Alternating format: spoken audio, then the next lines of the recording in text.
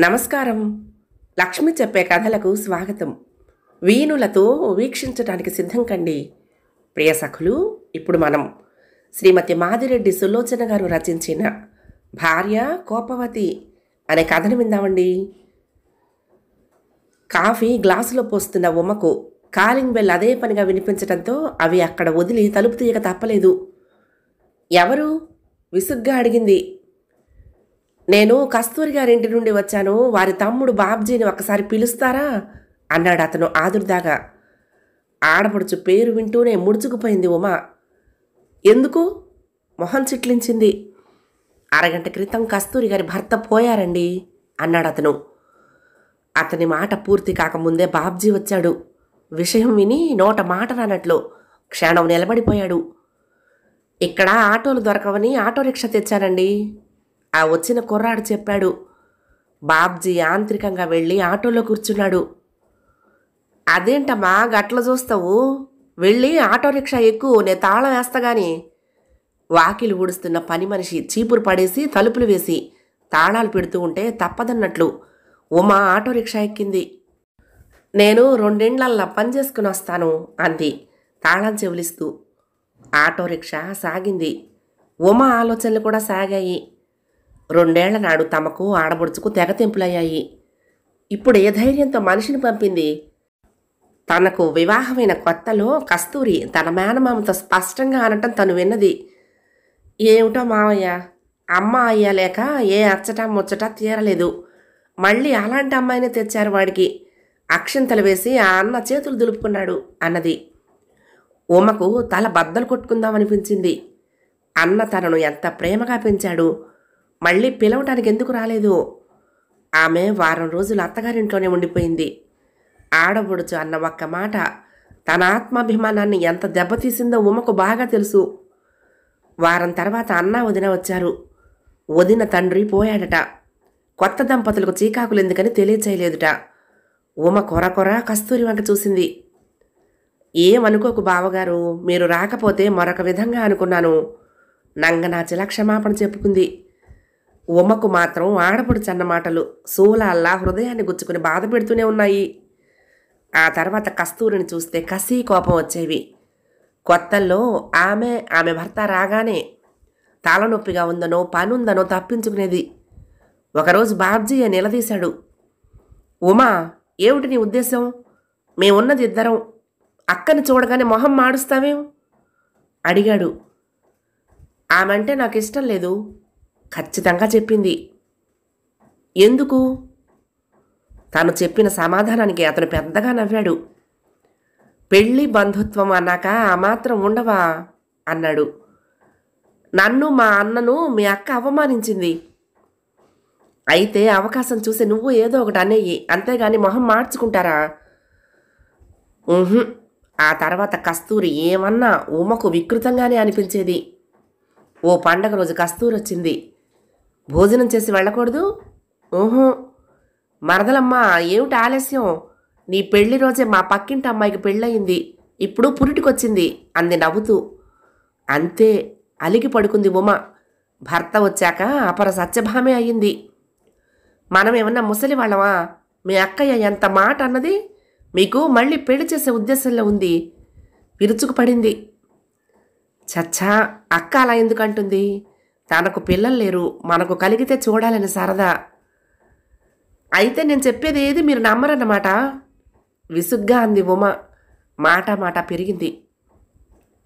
అసలు ఆవిడ ఇక్కడికి రావటం మీరు అక్కడికి పోవటం చూస్తే నేను ఆత్మహత్య చేసుకుంటాను అంటూ ఆఖరి అస్త్రం ప్రయోగించింది ఉమ.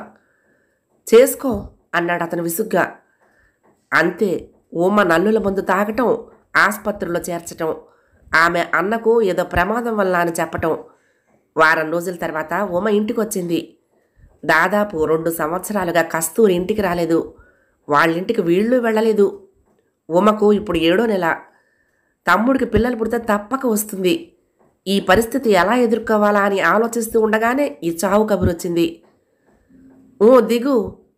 బాబ్జీ అరటంతో ఉమ ఆటో దిగింది. అతను కిరాయిచ్చాడు. లోపల నుండి కస్తూరి ఏడుపు హృదయ విదారకంగా వినిపిస్తోంది. ఇద్దరూ లోపలికి వెళ్ళారు కస్తూరి తమ్ముణ్ణి చూస్తూనే తల బాదుకుని ఏడ్చింది. ఏమండి బాబ్జీ వచ్చాడు చూడండి. మీరెప్పుడు వాడు దొంగల రాత్రి వస్తున్నాడు అనేవారు. ఇవాళ ఉదయమే వచ్చాడు చూడండి. భర్త శవం మీద పడి దుఃఖంతో కదిలిపోతూ ఏడ్చింది. ఊరుకో అక్కయ్య. చెమర్చిన కళ్ళతో అక్కను లేవదీశాడు. మీ బావ ఇంత అన్యాయం చేస్తాడనుకోలేదురా. నువ్వు పెట్టిన ఖర్చు బూడిదలో పోసిన పన్నీర్ అయ్యింది అని కస్తూరి ఏడుస్తూ ఉంటే ఉమా ఆలోచనలు పరిపరి విధాలుగా పోయాయి. ఈయన జీతం అంతా నాకే ఇస్తారు. ఖర్చు ఎలా పెట్టారు? అప్పు చేశారా? అని. రావలసిన వారంతా వచ్చారు. సాయంత్రానికి అంతా ముగిసిపోయింది. మధ్యాహ్నమే ఉమని నిండు మనిషిని పంపించి వేశారు. ఉమ ఇంటికొచ్చిన దగ్గర నుండి బోన్లో పుల్లా తిరుగుతోంది. తనకు తెలియకుండా భర్త ఆడపడుచింటికి వెళ్ళటమే కాక డబ్బు ఇస్తున్నాడు. కుమ్మరావులా ఉంది ఆమె హృదయం. తలుపు చప్పుడు కాగానే వెళ్ళి తీసింది. వచ్చింది భర్త కాదు తన అన్న శ్రీహరి. మీ ఆడపడుచు మగడు పోయాడు కదా అక్కడికే వెళ్ళొస్తున్నాను. బాబ్జీ నిన్ను తీసుకువెళ్ళమన్నాడు అన్నాడు. ఏం ఆయన ఇప్పుడు రారటనా? అడిగింది కోపంగా ఎలా వస్తారమ్మా? ఆమెకెవరున్నారు? మేనమామ కూడా యాత్రలు చేస్తున్నాడట అన్నాడు. అసలు అన్నయ్యకి ఏమీ తెలియదు అనుకుంది ఉమ. కోపంగా అన్నగారి వెంట వెళ్ళింది. మళ్ళీ బాబ్జీ రాలేదు ఆమె వెళ్ళలేదు. పెద్ద కర్మరోజు శ్రీహరి వెళ్తూ ఉమని రమ్మని అడిగాడు. చిన్నపిల్ల ఆ కర్మకాండ చూసి అప్సెట్ అవుతుంది మీరు వెళ్ళిరండి అంది వదిన. అతను వెళ్ళిపోయాడు. పదకొండవ రోజు అలసటగా చిన్నబోయిన మొహంతో వచ్చాడు బాబ్జీ.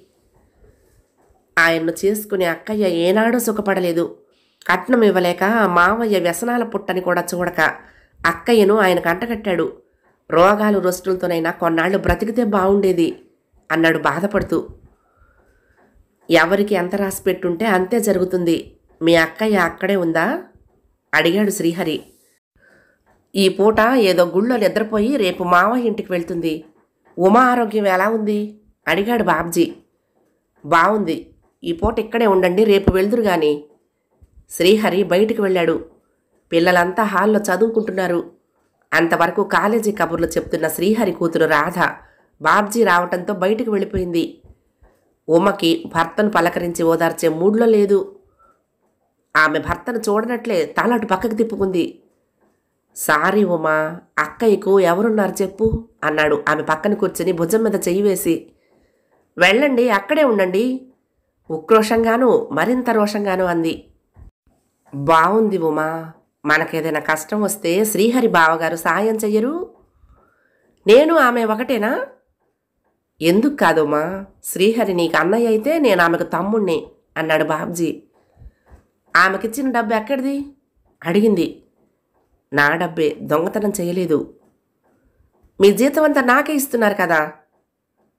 రెండు సంవత్సరాలుగా బోనస్ ఇంక్రిమెంట్లు వచ్చిన డబ్బు దాచాను. సమాధానమిచ్చాడు భార్యాభర్తలు అనగానే ఒకరికొకరు ప్రాణంగా ఉండాలంటారు. ఇదే నా ప్రాణం? ఇదే నా నమ్మిక? ఇదేనా మన బంధం? అడిగింది రోషంగా. నా పొరపాటు ఏం లేదు ఉమ్మా భార్యాభర్తలు అనగానే అధికారం చలాయించడం కాదని గుర్తుంచుకో. ప్రాణం తీసుకునే ప్రమాద స్థితి కల్పించుకుంటే నేను ఉపాయంగా మరొక మార్గం చూసుకున్నాను అన్నాడు. నా మార్గం నేను చూసుకుంటాను ఇక మీ దగ్గరికి వచ్చే ప్రసక్తే లేదు అంది రోషంగా.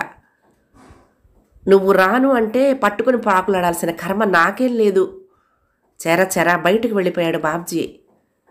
బాబ్జీ ఏడమ్మా వంటైపోయింది అంటూ వదినొచ్చి అడిగింది. ఏమో అక్క దగ్గరికి వెళ్ళాడేమో అంది కళ్ళనీరు కనిపించకుండా మొహం పక్కకు తిప్పుకుంటూ.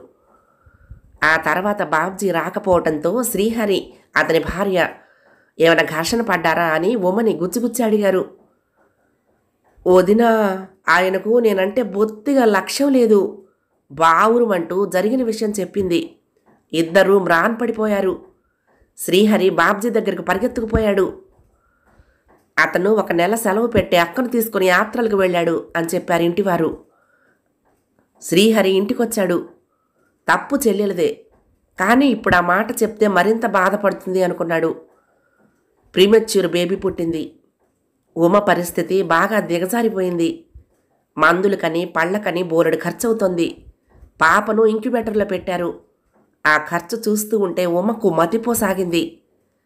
ఆ రోజు అన్నా వదినల మాటలు వినిపించాయి. ఇదిగోండి ఇంజెక్షన్లు మందులు కొనుక్కురండి అంటోంది వదిన. ఈరోజు ఇరవై ఏడో తారీఖు ఇంకొక నాలుగు రోజులు ఆగు అంటున్నాడు శ్రీహరి. బాగుందండి పిల్ల ఇప్పుడే కోలుకుంటోంది. ఈ చంద్రహారం తాకట్టు పెట్టి డబ్బు తీసుకురండి. ఈ కార్యం గడిస్తే మెల్లగా విడిపించుకోవచ్చు అంటోంది వదిన. సరే ఆమె మాటలకు ఎదురు చెప్పలేదు అన్నయ్య. అన్నయ్య ఎంత మంచివాడు అనుకుంది. వెంటనే ఎవరో వీపు మీద చరిచినట్లయింది. మీ వదినలా నువ్వు ఆడపడుచు కోసం బంగారం తాకట్టు పెట్టగలవా? తను తన ఆడపడుచు ఒక్కటేనా? తను శ్రీహరికి చెల్లెలైతే కస్తూరి బాబ్జీకి అక్క. తేడా ఏంటి? ఏమో ఏమీ అర్థం కాలేదు. కుమిలి కుమిలి ఏడ్చింది. బాబ్జీ రాలేదనే కదా ఉమా? వస్తాడులేమ్మా అక్క గురించి ఆ మాత్రం బాధ ఉండదా? అభిమానం ఉండకపోయాక ఆత్మీయులు ఎందుకు మేమున్నాం కదా అని నిశ్చింత కాబోలు. ఏడిస్తే తలనొప్పి వస్తుంది ఊరుకో. గదిలోకి వచ్చిన వదిన ఓదార్చింది. అది కాదు వదిన తన బాధ చెప్పుకుంది. ఆయన అలా దొంగతనంగా మా ఆడపడుచుకు పెట్టడం మంచిదేనా వదిన? అసలు మా అన్నయ్య నిన్ను అడగకుండా ఏ పనైనా చేస్తారా? మీ అన్నయ్య నన్ను అడగకుండా ఏ పని చెయ్యరు. కానీ మీ అన్నయ్యకు నేను ఎప్పుడూ ఆంక్షలు పెట్టను కదా. వదిన సమాధానానికి ఉమ్మ మాట్లాడలేదు. అయినా నీకు కస్తూరికి మనస్పర్ధలు ఎందుకు వచ్చాయి వదిన అడిగింది. ఉమ చెప్పింది. ఎంత పిచ్చిదానివి ఉమా. ఆవిడకు నీకంటే ముందే బాబ్జీ ఆత్మీయుడు. ఆ మాత్రం ఆదుర్ద ఉండదా? నాన్నగారు పోయి మేము రాలేదని ఆమెకేం తెలుసు? మన రాధకు సంబంధం చూస్తే పిల్లాడు బాగలేడని నువ్వు అనలేదా? ఆత్మీయురాలేగా? పిల్లలు కలగలేదంటే తప్పే ఉందమ్మా. ఈ కాలంలో ఎప్పుడు కావాలనుకుంటే అప్పుడు పిల్లలు కలుగుతారు వదిన అని నువ్వు స్పోర్టివ్గా అనుండొచ్చు కదా? అంది వదిన. నీకు తెలియదు వదిన విసుక్కుంది. నాకు తెలియంది నీకు తెలియాల్సింది ఒక్కటేనమ్మా. ఈ ప్రపంచంలో రంగులు రూపాలు వేరు కానీ ఆత్మీయత ఆకలి అందరికీ సమానమే. ఈనాడు అక్కకు సాయం చేశాడని బాబ్జీపై కోపగించుకున్నావు. నీకేదైనా కష్టం వస్తే మేము రాకపోతే బాధపడవా? అని ఆమె అడుగుతూ ఉండగానే పిల్లలెవరో పిలిచారు. ఆమె లేచి వెళ్ళింది. ఉమా ఆలోచిస్తూ పడుకుంది. ఆమెకు వదిన లేపి భోజనం పెట్టి మందిచ్చింది. పగలు ఏదైనా చదువుకో పగలు పడుకుంటే రాత్రులు నిద్ర రాదు అంటూ మళ్ళీ పనిలో దూరింది. ఆకలంతా ఒక్కటే ఆత్మీయత అంతా ఒక్కటే. వెయ్యి గొంతులతో అరిచారెవరో. కళ్ళు విప్పి చూస్తే ఎవరూ లేరు.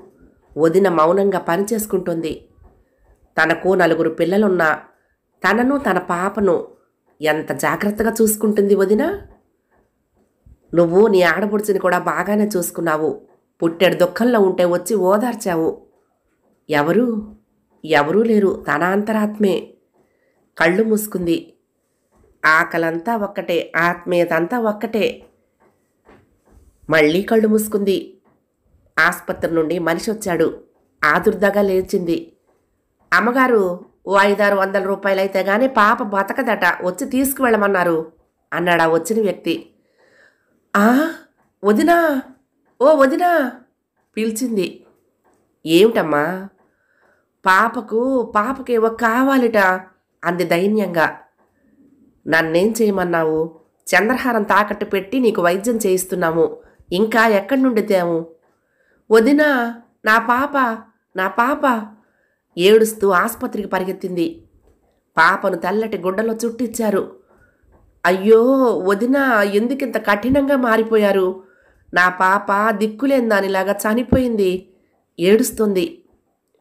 ఇప్పుడు ఏడిస్తే ఏం లాభం? సమయానికి రాలేదు. డాక్టర్ అంటోంది. నా పాప? అయ్యో నా పాప! ఉమా ఉమా ఏమిటమ్మా కలవరింతలు? వదిన కుదుపులకు మేలుకుంది. అంతా కాలేనా? అమ్మయ్యా అని కన్నీరు ఒత్తుకుంది. సాయంత్రం పాపనిస్తారట. మీ అన్నయ్య భోజనానికి వచ్చి చెప్పారు అంది వదిన.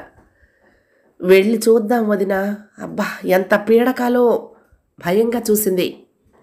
సాయంత్రం వెళ్ళి పాపను తీసుకొచ్చారు. శ్రీహరి డబ్బు మంచినీళ్ళలా ఖర్చు పెడుతూ ఉంటే ఓమా వదిన మొహం చూసింది. ఆమె మొహంలో అదే చిరునవ్వు అదే వాత్సల్యం. వదినా అనవసరమైన ఖర్చు. ఇదిగో ఉమా ఇలాంటివి లేకపోతే జీవితంలోని సుఖమేం తెలుస్తుంది? మా బాధ్యత మేము తీర్చుకుంటాము. నువ్వు అనవసరమైన ఆలోచన మానేయి. కసురుకుంది వదిన.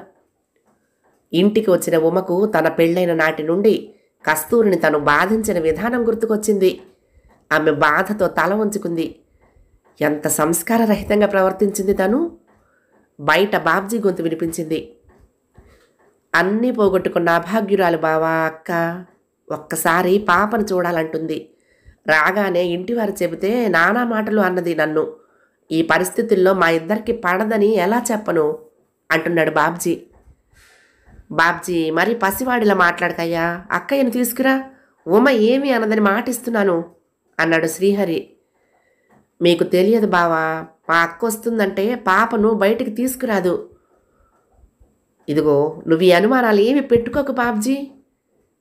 ఆ తర్వాత ఉమ్మ బయటికి వెళ్ళేసరికి బాబ్జీ వెళ్ళిపోయాడు. శ్రీహరి ఉమ్మ వంక తీక్షణంగా చూశాడు. నన్ను క్షమించన్నయ్యా. నేను కాదు క్షమించాల్సింది బాబ్జీ అన్నాడు. ఉమ్మ మాట్లాడకుండా లోపలికి వెళ్ళిపోయింది. రెండు గంటల తర్వాత మెల్లగా వచ్చింది కస్తూరి. ఉమ మాన్పడి చూస్తూ ఉండిపోయింది. ఎప్పుడూ నవ్వుతూ ఉత్సాహానికి మారుపేరులా ఉండే కస్తూరి నుదుట బొట్టు లేక సాదా నేత చీరతో దీనంగా ఉంది. వదినా ఉమ మొదటిసారిగా సంబోధిస్తూ కస్తూరిని వాటేసుకుని బావురుమంది ఇది కళ నిజమా అన్నట్లుగా చూశారు అక్క తమ్ముళ్ళిద్దరూ. మా ఊరుకో కస్తూరి ఓదార్చింది. ఆ తర్వాత ఉమ్మ మాటలు రానట్లు కూతుర్ని తెచ్చి ఆడపడుచు ఒడిలో వేసింది. బాబ్జీ నిర్లిప్తంగా ఉండిపోయాడు. శ్రీహరి కోపగించుకుంటే ఆ కోపం చూసి తన భార్య అలా మర్యాద నటిస్తుందనుకున్నాడు. రాత్రి భోజనాలయ్యి ఇంటికి బయలుదేరారు. ఏమండి? ఉమ నెమ్మదిగా పీల్చింది. ఏమిటి? వెనుతిరిగాడు బాబ్జీ. నన్ను నన్ను క్షమించండి. నా ప్రవర్తనకు సిగ్గుపడుతున్నాను. అతను నమ్మలేనట్లుగా చూశాడు. వదినను కొన్ని రోజులు ఇక్కడ ఉంచకూడదు? అడిగింది.